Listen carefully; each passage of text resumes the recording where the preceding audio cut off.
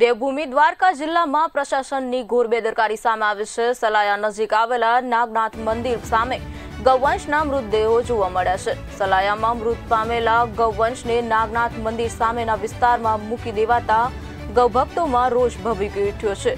નગરપાલિકા દ્વારા તાત્કાલિક ગૌવંશને નિયમ મુજબ યોગ્ય નિકાલ કરવાની માંગણી કરવામાં આવી છે. સલાયા હાઈવે પર આવેલા મંદિર નજીક પાલિકા દ્વારા આ ગૌવંશને મૂકી દેવામાં આવ્યા હોય. જેથી પાલિકા તરફથી તેમની અંતિમ વિધિ કરાય તેવી પણ માંગ કરવામાં આવી છે. આજરોજ રાજ્યના કૃષિ અને પશુપાલન મંત્રીની ગૌશાળા અને લંપી વાયરસ મુદ્દે જિલ્લા કલેક્ટર કચેરી ખાતે અધિકારી સાથેની બેઠક યોજનાર છે, પરંતુ તેમની મુલાકાત પહેલા જ સલાયા ખાતે ગૌવંશના આ મૃતદેહે કામગીરીની પોલ ખોલી છે.